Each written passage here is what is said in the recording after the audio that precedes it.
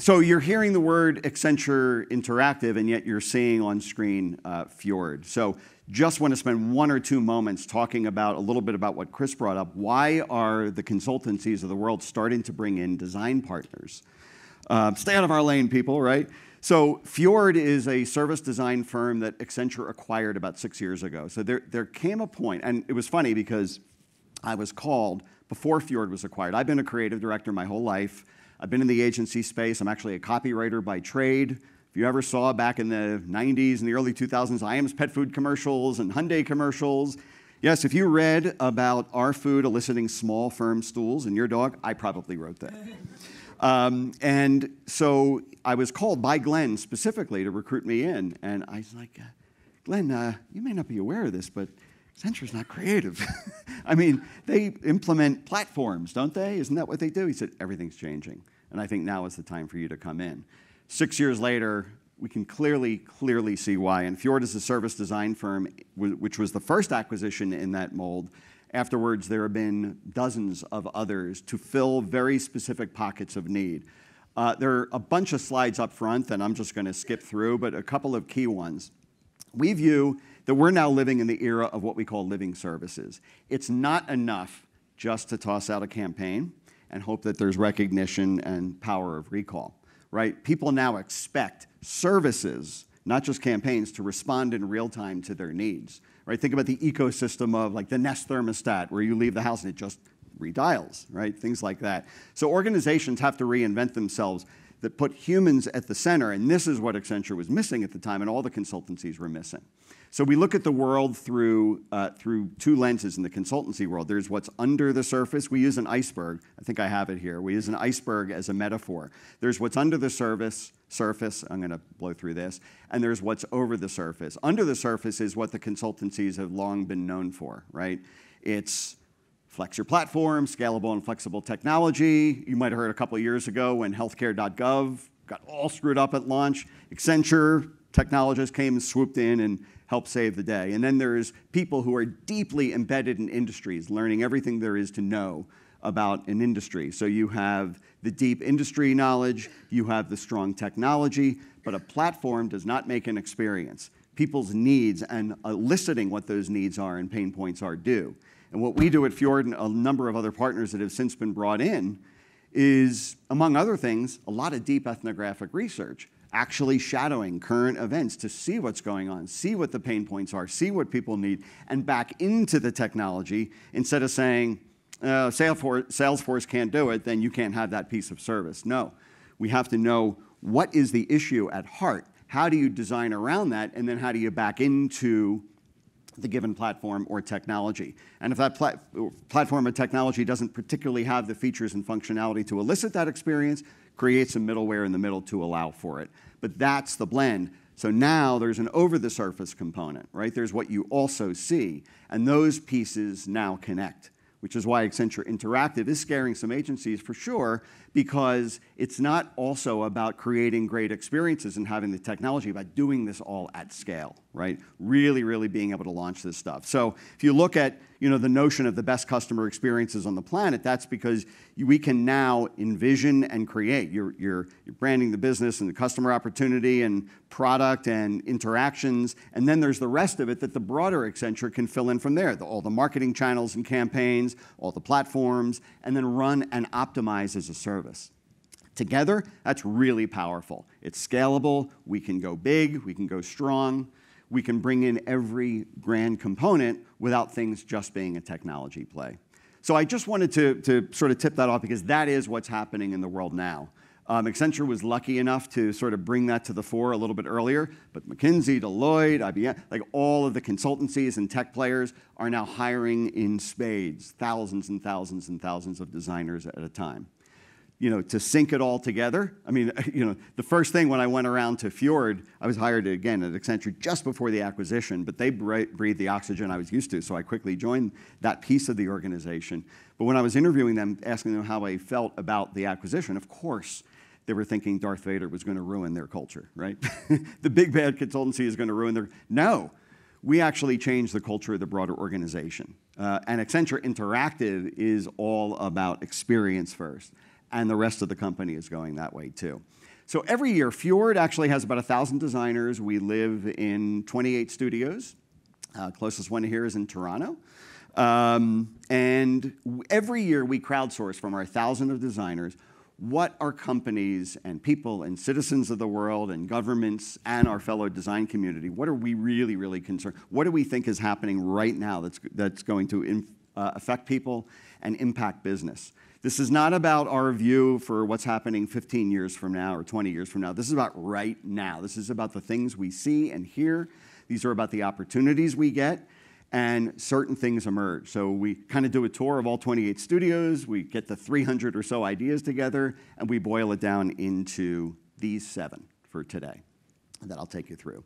So, uh, Silence is Gold is about the need for quietude amongst the digital onslaught of our lives, right? Which is counterintuitive to I know the marketing community, but look at look at what Chris said earlier in the keynote. Who are the successful people? Not the people that are throwing more, dumping more campaigns, people who know impact instead of more. The last straw is about the need for sustainability. It now matters. Customers are making choices because of the sustainability stories that companies are telling, even if they think a product or service is lesser than a competitor. Data minimalism. What is the worth of data today? It's not much. It's not much. In the aggregate, it's worth a lot more, and I'll explore that. The inclusivity paradox. Ugh.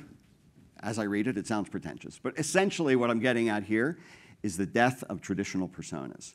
Context is much more important than an individual persona. What if something happens to a customer?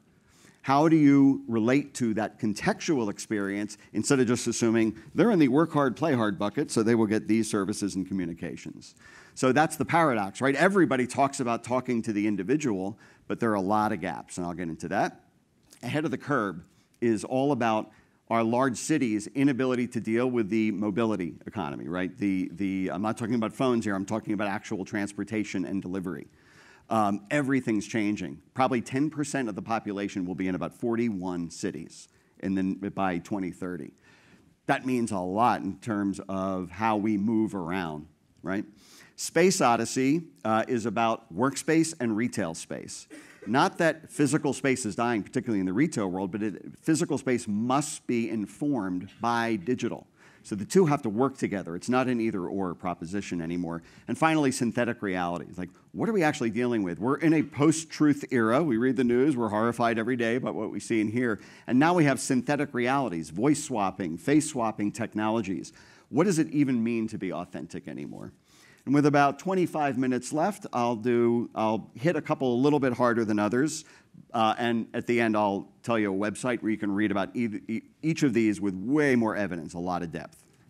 Okay, silence is gold. So brands have to find a way to connect with consumers now that people are demanding quietude. Never before have we seen so many opt outs and disconnects and a desire to get away from it all. And I'm not just talking about marketing messaging, I'm talking about digital, I'm talking about screen usage.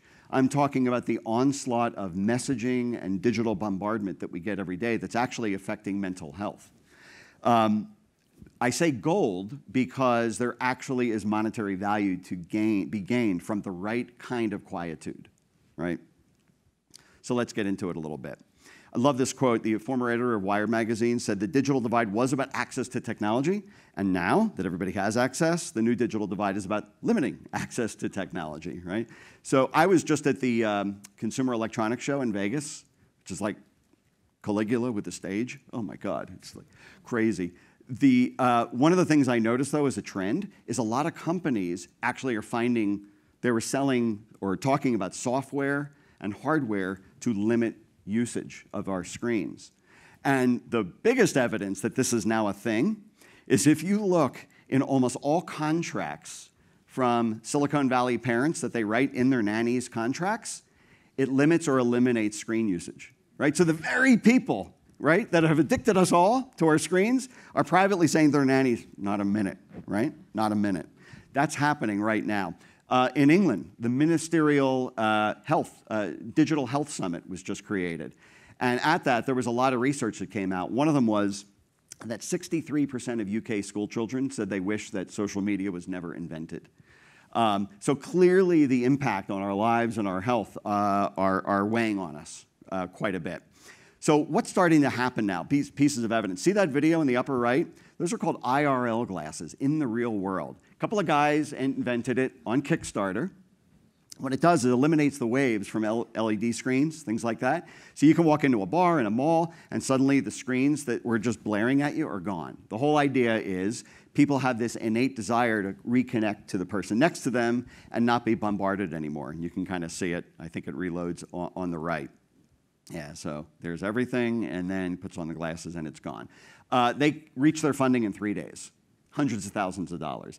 There is an innate desire for this. Um, anybody remember the Palm Pilot? The Palm is back as a form of a light phone. It just has minimal functionality to just keep you connected. There are hotel services that now say, give us your phone, we will lock it away, we will give you a dumb phone for the course of your vacation with us, right? And we have all experienced the horror and the personal shame of looking at our own Apple, our, our own iPhones and Google uh, uh, phones and seeing how much time we spend on screens. I think that the, the whole intent is to shame us into not looking at our screens. It certainly works for me. Like, how is eight hours even possible in a five hour span? I don't know. um, so, at the end of each of these, I'm just going to offer a couple of suggestions uh, from us and how we kind of feel about that and how to kind of think about taking this trend forward into some actionable uh, things. One is, of course, be quieter, right? Take a lack of responsiveness as a hint to be quieter, not noisier, not throw more things at the issue, right? Rethink metrics. Find new ways of measuring performance that may sit outside of classic engagement metrics. Radically simplify things like forms, right? We just invented a service for Berkshire Hathaway called Three. It's a new small insurance product. For, uh, um, uh, it's not even called Berkshire Hathaway. It's called Three because you only need three steps to get your application filled out instead of the hundreds of steps today. So just that quieter functionality was so powerful to the company that they named their company after that limited, that quieter functionality. Invest in content design. I cannot speak highly enough about the value of having really good content designers because if you're going to go quieter, each communication better be more powerful, and great and movable uh, content is the way to get there. Measure also the cognitive effort that you expect from your customers, right? What is their uh, mental strain on dealing with your brands, dealing with your messages, and how can you alter that to make it more pleasurable? And finally, one of the things, and again, Chris, you mentioned this in the keynote, employee experience. At least 40% of my opportunities out there in the world are around employee experience. It's a trend from two years ago that lives on to today that we call B to we right? Looking inside of our organization, not just HR, but just thinking about the mental health and understanding where we are as an organization. One of the things that Accenture did was they got rid of the annual review process.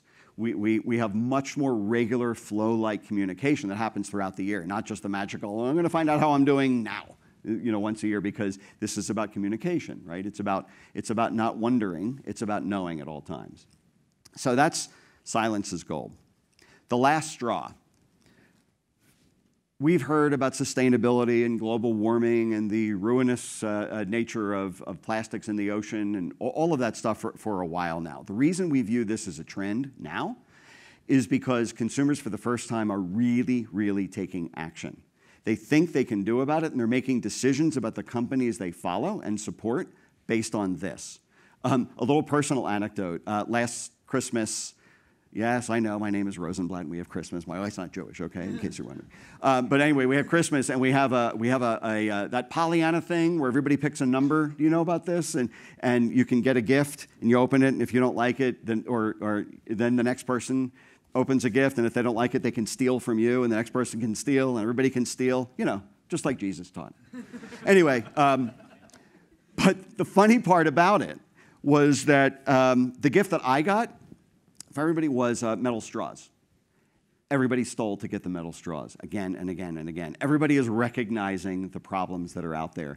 The opportunity, though, is it gives companies a chance with packaging, with services, to rethink and redesign everything. So let's just get into a little bit of the evidence here. I'm going to kind of skip ahead after this.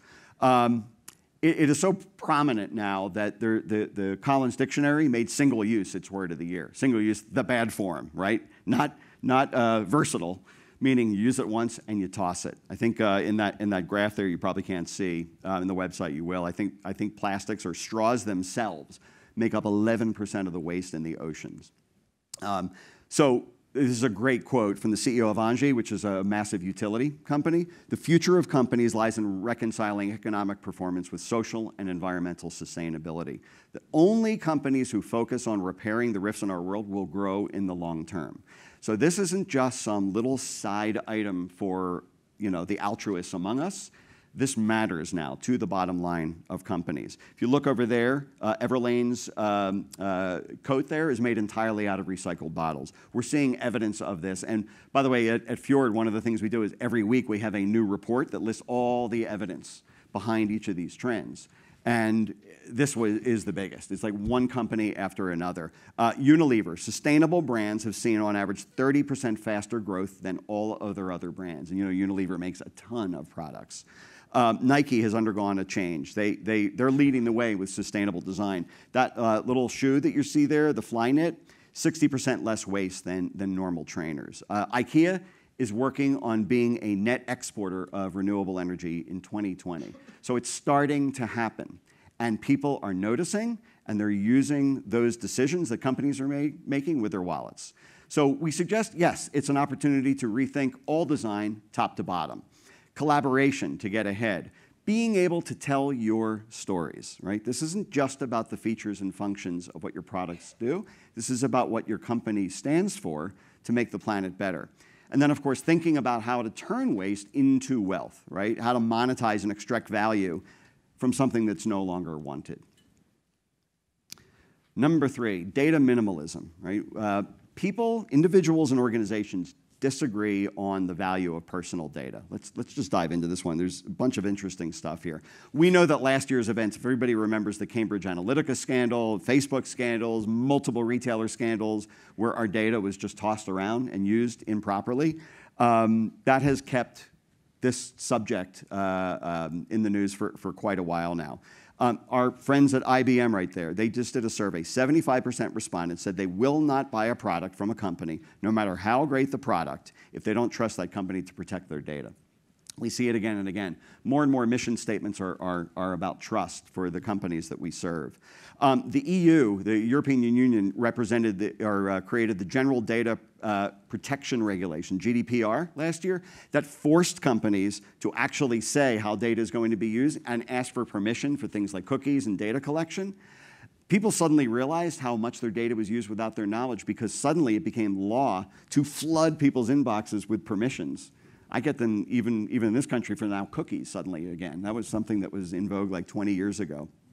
Um, and then 70% of the companies around the world had still failed to comply with that about four months after it was released. That's an issue. By the way, Taylor Swift is mentioned there because I don't know if you heard about this. She performed at the Rose Bowl, I think last May, and there was a massive kiosk, and people were running up to the kiosk to see. It was all about the clothes she was about to wear in the concert, past concert footage, videos. What they didn't know was that secretly that kiosk was utilizing face recognition technology to match those faces against her known stalker database. Yikes. What are they doing with that data? They didn't tell anybody. People were just looking and smiling and getting into the video. And that, that, open, that can open up a Pandora's box. Now, I would say that her being protected is a benign use, but without informing anybody or without people realizing what's being done with their face and with any data that emerges from it, kind of scary stuff. The asymmetry, though, is interesting because people's understanding of data's value is out of sync with companies. Companies are starting to realize that the aggregate of data, what you can learn from the mass of data, that contextual thing that I talked about, is actually more important than individual data. The BBC did a study, uh, before I read these trends, they did a study and they, they found that an individual's data is worth only, on average, about $10. $10 is it. So individually, it's not worth as much. Collectively, it's worth a lot. So what we suggest is you have to set expectations and live with them. You have to embrace data minimalism. What is the least amount you can capture for the most value? It doesn't have to just be an immediate reaction to here's what you personally are going to get, but here's how we build our products and here's how we think about it. And your data is used for that. Be open, be transparent, and of course, champion trust. The inclusivity paradox, or as I call the death of the traditional um, persona. So yes, we all, as I said before, we all know that people are individuals and not types, right? Uh, companies, you can't throw a stone, not hit a company that doesn't scream about things like customer optimization and getting to know our customers and right place, right time, and all that stuff. And that's absolutely true. And we certainly value personas at Fjord as well. But personas are a reflection of past behavior. What really matters is context. So broad scale segmentation, it, it's often countercultural and sometimes just rude. the, the, things that we assume, right? I like this quote from uh, Netflix vice president of product. Yeah, we, everybody's instinct was you find at their age and gender data, it's fantastic. What we learned? Useless, useless. And by the way, I'm still mad at Netflix because years ago I saw a great French movie called uh, The Diving Bell and the Butterfly. Anybody ever see that? It's about a guy, uh, true story, Vogue editor in France, uh, suddenly became paralyzed, was only able to use one eye and blinked out an entire book about his thoughts and experiences. This is true. Unfortunately, Netflix now thinks that all of the movies I want to watch are people hospitalized with diseases. Every movie, you know, whose life is it anyway? The Elephant Man. I'm like, how about other movies by the director? So they don't have it right yet either, by the way. Um, but the question is, can we can we design for context suddenly? Um, I say we can. Oops, sorry, didn't mean to go. We're, we're in a, uh, the group of people that you see down there are a group that are referring to themselves now as transitioners. I'm not talking about gender transitioning, I'm talking about what they're interested in. These are cross age, cross demo people that connect more in a community level with uh, brands uh, that they get. It's not traditional way of understanding who people are, but you can absolutely design around it when you think about habits of mind. What we refer to often is a context called mindsets mindsets. It's a fluidly based, often fluidly, sometimes people are dominant and they hold to their, to their beliefs, but it's contextual. So, the uh, example I often give we work with a lot of hotel chains, and Marriott, for example. If you're the work hard, play hard segment, but let's say you're flying to a Marriott property and the plane the flight is delayed by like three hours and you suddenly realize you're going to be at the marriott destination uh, hours after the kitchen's closed who cares who cares what persona you're in and what might be in the room to match those data points. What matters to that family is that they're going to have a hot meal waiting for them somehow after the kitchen closed. Well, armed with this, if Marriott suddenly now on a living dashboard at the front desk has access to third party data like United flight information and knows that family will be late, they can have a meal prepared and ready. Context is what matters, not just what a demographic is. Marry the two, that's the key. So, what we suggest is you marry quant and qual. Don't, not one or the other. Like I said, we do a lot of ethnographic research. One of, one of my favorite all-time stories is a real, like, minute moment that, that speaks volumes. So we did, um, uh, there was a, a, a massive uh, telephone company in the Nordics um, that wanted call shed, right? 90% of the calls to their call center were because people were complaining about, can anybody guess, what would somebody be complaining about with a phone company? The bill. Of course, the bill. Everybody hates the bill. Nobody knows talk and text time and how that translates to money spent, and it's all confusing. So we did ethnographic research. We went into homes. We watched people do their bill and study their bill and watch their bill. And we started to, something started to emerge. There was one thing they hated more than the bill itself. It was the fact that that particular company had buried access to customer care. Now, a lot of companies do that. I mean, you, you can't you try finding uh, Amazon, right? Try finding a lot of companies where you just want a darn 800 number, or you just want a clickable, you know, to go out to customer care. But this is a company whose CEO said, "We will be the most transparent phone company in the world," and yet their service is showing that they have something to hide. So we took this, and in the end product that emerged, and we ended up doing a real-time app that is, it's just the bill, but it's app, so they can compare themselves against their neighbors. They know to the second their talk and text time and how that translates to the money they will spend at the end of the month so they can mitigate their behaviors so that they will spend less at the end of the month. But if you look at the interface of the app, right down, dead center in the middle is tap for customer care. Now, if the goal, the business goal was call shed, why are you making it easier? Because we think the experience is going to be so good they won't need it, but contextually, they'll see that they can have access anytime they want and they'll feel better from a brand perspective about the company. What happened? First three months, 50% call shed because the experience matters. And then the context of seeing that available matters, right? So context matters and experience matters. So marry Quant and Qual, focus on mindsets over traditional segmentation, and try to become a living business. I can do an entire talk on what a living business is, but basically, it's a company that can morph and breathe much like the customers they serve, right? That aren't siloed as organizations, can think about future needs, can bifurcate between band-aiding immediate problems and thinking to the future. Ahead of the curb. Ahead of the curb is all about cities' infrastructures actually slowing us down. They have to combat the clutter with ecosystems that have to meet real-time needs. So it used to be easy, right? There were occasional deliveries, and there was private transport, and then there was public transport, and that's all getting messed up. And think about a brand that you adopt, buy a product. Think about that last mile issue that sometimes happens between the fulfillment depot and your front door. And when that goes awry, because the streets, say, of Paris are so narrow and the 8 billion delivery trucks trying to deliver products are going to be clogged, or the e-scooters are going to litter the highway, that starts to become a problem. So cities have to think about, and companies have to think about non-traditional ways. Also at CES, one of the things that I saw was Bell Labs had a massive five-person floatable, it looked like a drone, but it was for people. It's the future of cabs. Just goes up about 20 feet in the air and takes you anywhere you need to go above all the clutter. I don't know when that's coming out, but they claim they uh, they're beyond the prototype stage. We'll see. But companies are starting to think about it now. Um, and ticketing. Ticketing has become a big thing, right? There, There are companies now, non-traditional companies, that are thinking about not just the mode of transport, but simply getting from point A to point B. Uber is starting to allow you to buy multi-ride tickets for multiple platforms, right? Right then and there through their app. Uh, blurring the map. So we're starting to see non-traditional, like think about Nike. Nike is now starting to offer curb service. They're starting to actually bring vehicles, often electric vehicles, right to curbside. Uh, this is a, uh, that's a bus from a retailer. It's an e-bus, a retailer that is actually about to launch in Helsinki to take people to and from stores. Um, all kinds of products are starting to emerge that blend the traditional notion of how am I going to get there? It doesn't matter, but the point A to point B, and companies thinking about how I'm going to allow for that, not to mention the last mile, are hugely important. So designed for moving from one point to another, uh, remember that last mile, and remember partnerships, right? It is really, really important. We're not going to get at a new solution for mobility ourselves. We have to think about partners that can help us get there together and rethink what our brand is. Space Odyssey. Work and retail spaces need a digital makeover. One of the problems with companies like Sears that are going out of business is they didn't adapt. They didn't need to go out of business. They could have adopted the digital mindset in their own stores to make a difference.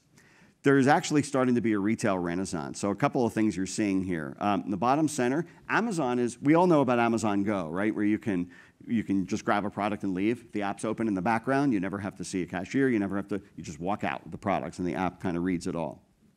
What they're also doing is they're creating stores where every product in the store is a product that it got at least a four-star review online, right? So again, the notion of digital informing a physical space. People know that everything I'm about to see got great ratings online. I am far more inclined to stick around in that store and pick up products because it already cleared a hurdle for me in my mindset.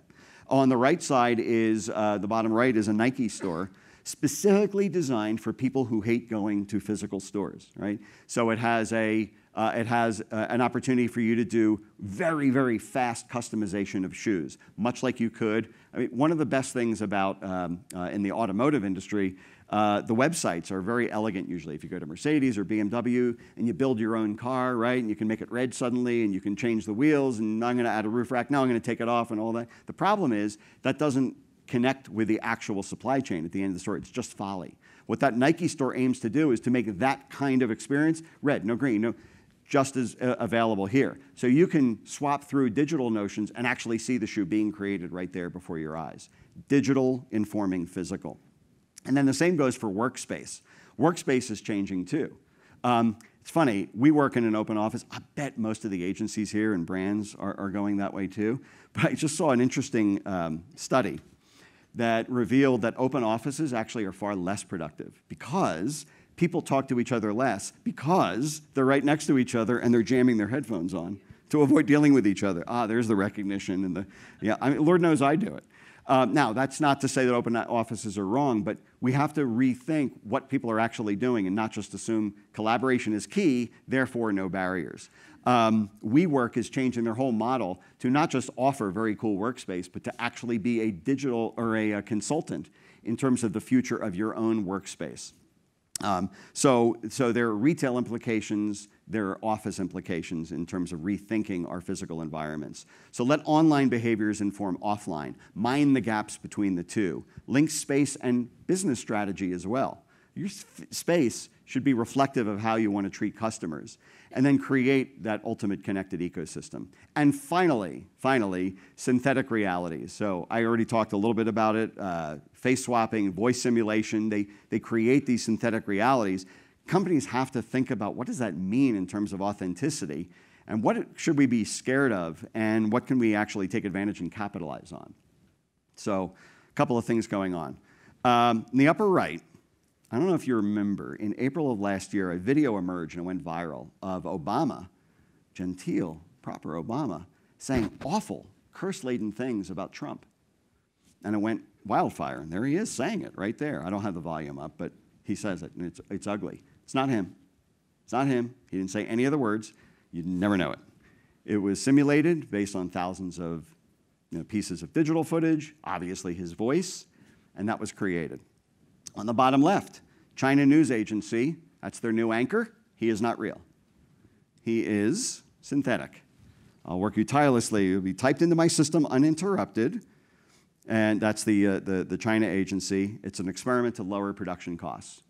If I don't have to, you know, spend a fortune on bombshell reporters and I can just make that happen, why not do it? And of course, you know, the old Photoshop has now turned into moving Photoshop where you can turn a horse into a zebra and you can go on and on and on and on.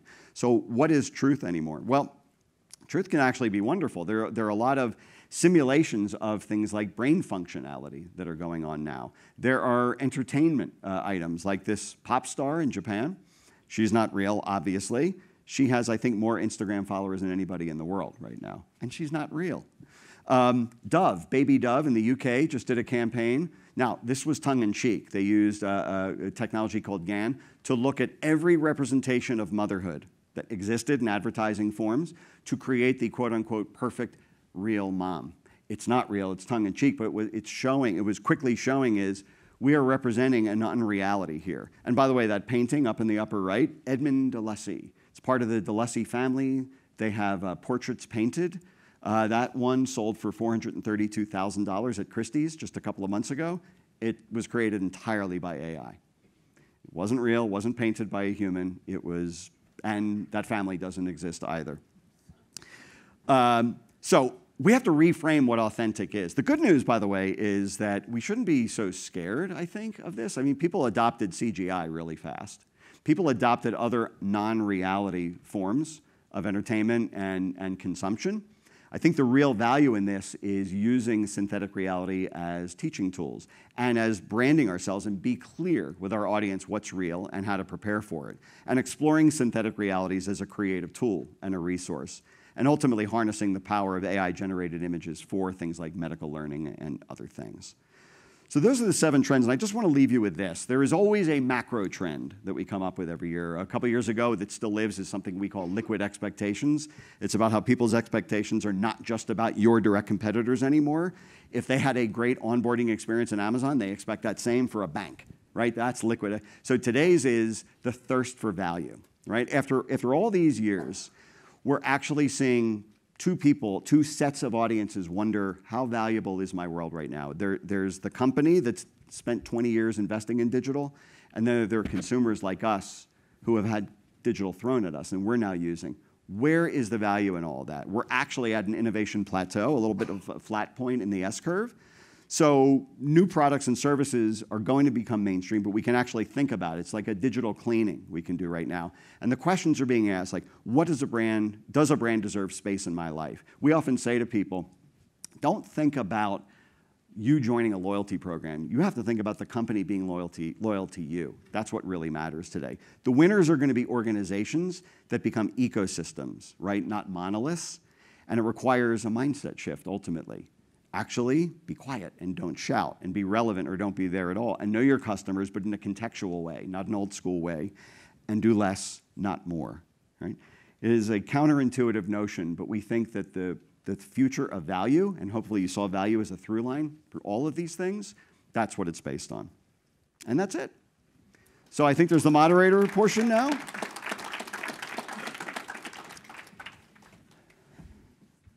Thirty-five minutes ish. That was that was amazing. I think, uh, and I'm a loud enough talker. I may not need this. We'll see. Is this on? Yeah. Um, Matt, I, I, have four words in my mind right now, which mm-hmm. is you smart, me dumb. it, that, that, was, I'm just sitting here, it was dizzying. And uh, you, uh, you, need to. so you, easy a caveman could do You need to put a bigger font on your slides because the, the every point I'm trying to scramble mm. down the note. You promised us a link, by the way. Yeah, yeah, yeah. Uh, uh, it's not there, but I'll send I'll send a link to you somebody, and they can send it to all the attendees. But I can tell you right now, quickly, it's trends.fjordnet, f j o r d net n e t dot com trends.fjordnet.com. And you'll get all of these, but with like layers and layers of more information and evidence. I need a minute. Yeah. Trends.fjordnet. Fjordnet.com? Yeah. Well, that doesn't seem that smart. Yeah. Why are you putting net and .com? Well, we have, I think fjord was taken because the damn real natural fjords on the earth were taken. they, they got there first. They got the, the actual fjords got there before yeah. our company. Well, that's fair. um, so those of you that aren't familiar with this, uh, go to your Twitter, uh, tweet into Gathering. I think it's Accenture. Yeah, Gathering Accenture, and I'll do my best to try to get to some of your questions.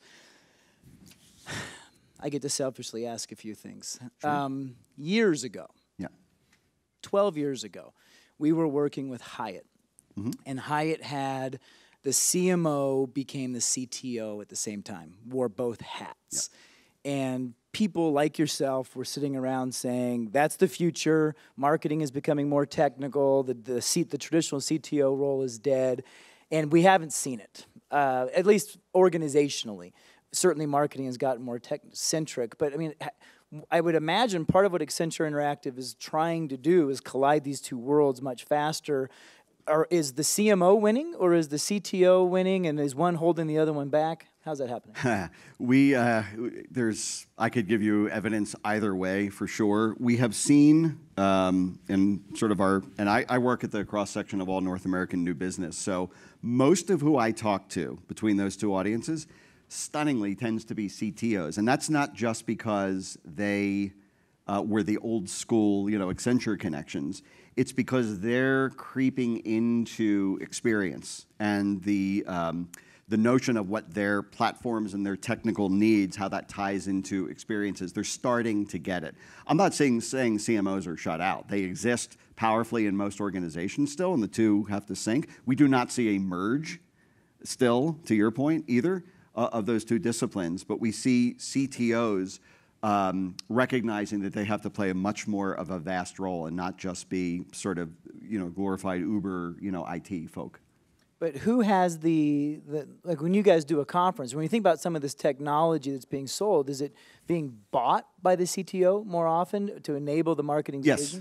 Yeah, I'd say it leans a little bit more that way. And obviously, our success is contingent upon the right kind of CTO and the recognition that it must, must, must serve a, a grander purpose, right? Um, it, it's, you know, Accenture used to be in the business of, you know, platform reimplementations simply based on, you know, tangential evidence instead of actual exploration of needs and pain points. That has changed markedly, and um, CTOs recognize that. So they, they um, in the smarter organizations tend to be the buyers because they get that and have started to weave their way across the organization. You mentioned a, a, point about silence is gold, and, and we've been preaching for a while this idea that marketers marketers used to be valued for how well we could talk. Yeah. How creative, how clever, how funny we could be, and yeah. in the new world order, marketers need to learn how to shut up and listen. right. Um, how, well, how does that coincide? Are you saying silence is gold in the sense that create oases that free people from the bombardment? Or are you saying within that silence of you not trying to talk, you can now listen. There's something to learn, and Yeah. if, if the latter, how are you helping people listen? Yeah, it's a, it's a little more than that. One, uh, uh, it's a little more of the second um, point because you know one of the things that that we advocate a lot. I'm, I'm sure um, there there are vast research engines across all of the the brands and the and the marketing teams here. I'm not here to suggest they're not, but the the that that point is blended in with the point of that inclusivity paradox. When we're not actually shadowing, like actually out there shadowing current experiences, watching and exploring, taking a breath and just watching what is relevant and needed, like the, the end button example I gave, which was very UI you know, centric, but it was based on a, on, a, on a grander truism. That's more or less what we mean. We mean that take a breath and actually explore and, and ethno understand what your uh, what the actual pain points are. It is amazing the degree to which survey data only gets at a small bit of the story because people fill things in. And what people will say, different things than what they actually do.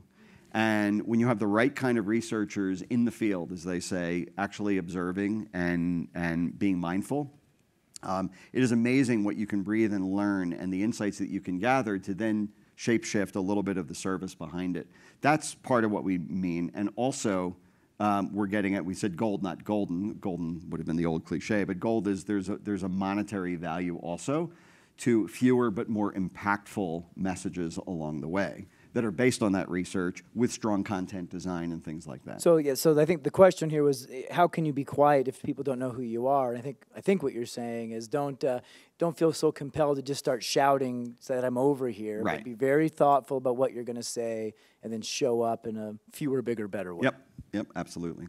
Um, you talked about the death of the traditional persona, and I think that's really interesting because I think I, I would argue most of us are still operating in that world, and I believe the genesis of the persona made sense in a media buying world because media was sold demographically, therefore personas became demographically. Yeah. Excuse me. Apparently reaching puberty. Puberty, knew? congratulations. Yay! I'm a real boy now. Um, I I don't know what happened there. Um, but uh, where the hell was I? Uh, We're talking about personas and, and why Yes. why the demographic one is antiquated and why the contextual one is Yeah. far superior. Uh, and and again, one of the key points, lest you think that I'm, I'm saying throw out the baby with the bathwater, I'm most certainly not, because um, personas certainly inform. We still create them as, as a quick mirror into kind of broad audience segments. The, the key is that mind the gaps, though. Like what, what sits in between them? And when something happens contextually, how does it matter? Of course, traditional media uh, buying is based on those measures that sort of force us to bucket people, at least to a degree. Um, but for services to thrive, for us to have features and functionalities and, and you know, products with service wrapped around them that are more interesting and inquisitive, then you need to know what sits between them. One, of the, um, when, I said that you know, culturally it can be rude, take, take the Muslim uh, clothing market, for example. It's, like, it's a, Muslim women specifically. It's a 254 billion market, dollar market that has barely been scratched by the West, barely been scratched because there's still an assumption, a bias, that they're all basically the same. You know, and yes, you can change out your hijabs and so on, but there's a lot more to it than that. And, and Muslim women are incredibly stylish and have incredibly diverse needs, no matter what the, the, the, the, um, the traditional um, uh, clothing biases might be. So that's what I mean. Like, spend time to actually learn and not just assume that an audience means this or that. It could mean something right in between. you kind of uh, glazed over this idea. I think it was 10% of the population is going to live in 41 cities by 2030. Yeah. What are, what are those cities and, and how are they adapting to this? Um, Banff? Um, no. We I- told the mayor earlier. yeah, get ready. Get ready. Um, I think it was your, you know, we are, uh, you know, it's like the big, a lot of, a couple of the big Asian cities, New York. Uh, we see more in New York. We see, we, There's no surprises in there's, there. there's no surprises in there other than um, the sustainability trend forcing people out of some particular areas, right, into, um, you know, away from the equator, away from water, low-lying water areas, things like that. And uh, one of the um, one of the issues with with particularly dense cities like like Venice and Paris and all that is that the infrastructure, you know, built many, many years before any of, of the USA's uh, cities were built, really, really, really narrow. And it's, it's forcing um, such clogs that in, in Paris, one of the things that happened was e scooters just completely took off. And it's actually the most rapidly growing form of transportation there is. I think, remember originally we had E dash everything and then we switched to I? I think it's going back to E because electricity is the root of all of those little examples I gave. But the scooters then became such a clutter problem because there was nowhere to actually park them that they just began cluttering the streets. And they were just outlawed in Paris. So there's all kinds of there are all kinds of issues to overcome. Uh, and Maybe a lot of what Segway is going to come back. maybe That the Segway is going to come back. A lot of what I saw or CES were answers that went this way instead of this way, right? Res- Responses that are going to take us up in the air now. That creates a whole sort of hybrid oversight system that's going to be nightmarish as well. But that's what's happening. Star Wars figured it out. Yeah. I'm sure there's Yeah, they got it. somewhere. The um, some of the stuff about Beyond the Curb, I think, is fascinating as a consumer. You think about Uber Eats and Skip the Dishes and stuff like that. But um, I also think about uh, like a shopping mall. 25% of that footprint is parking. Yeah. And so, in a world where that doesn't have to happen, that's, a, that's a lot less money that has to go out to build the spot, and everybody's now just getting dropped off or autonomous. Yeah. You didn't mention anything about autonomous driving, and that's something that everybody seems to be very vogue right now. Is, is that a trend that you guys have your eye on? Oh yeah, we're, we're looking at that too. That tied in with the trend we had last year. We actually, um, it's funny. My daughter goes to the the one who squeezes limes into her mom's drink. Um, she now goes to the University of Pittsburgh, and somehow is not a drunk. Um, Congratulations. yes. So there's that. I have I have very low expectations. So um, but when I was visiting her one time, I actually saw Pittsburgh is one of the epicenters of the autonomous driving um, tests, and I actually saw them. Um, you know, going around. The, now there have been um, there's been some negative press about that because of you know a couple of deaths. Um, but no, there, there, have been some, some reasons to sort of take pause, but we saw that, that as uh, completely dominant still in the near future. Um, probably in 10 years, we're going to see them readily. I think what that's going to force is different kinds of wider um, roadways, different traffic patterns, different light situations to allow for that. One, one of the issues with autonomous driving now is that um, really sharp surprises they haven't quite caught up to yet. So, you know, drive along and they can follow a car slowing down, but when that, if that car darts away, they, they often hit the car in front, which led to actually one of those awful accidents. Um, but we absolutely see that as part of the mix, autonomous driving.